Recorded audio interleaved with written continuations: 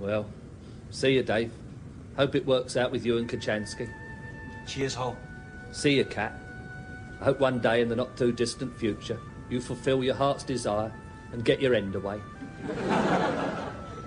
Thanks, man. And Arnold, well, I hope you meet those aliens you're looking for and give you a body. And you become an officer and you get a sex life and all the other millions of things you feel you need to make you happy. Thanks, Hol. Well, I hate long goodbyes.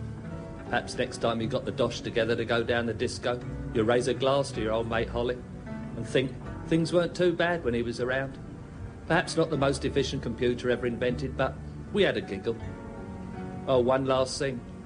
45.265881. What? That's the square root of 2049. I may not be fast, but I get there in the end. well, as they always say, finish on a song. I'll say goodbye to love. I never cared if I should live or die. Time and time again, the chance for love has passed me by.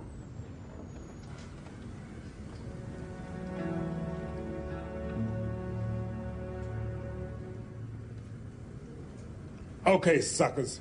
Get this into your stupid thick heads. There's only one thing I want to say to you. What?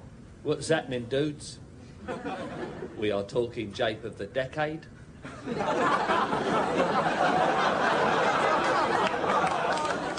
We are talking April, May, June, July, and August fall. yes, that's right. I am Queeg. What? Queeg never existed. It was me all along. What? We's of the week, mate. Going round in circles for 14 months. Get my information from the Junior Colour Encyclopedia. the respect you have for me is awesome, innit? You mean you staged the whole thing? That's right, suckers. And the moral of the story is appreciate what you've got, because basically, I'm fantastic.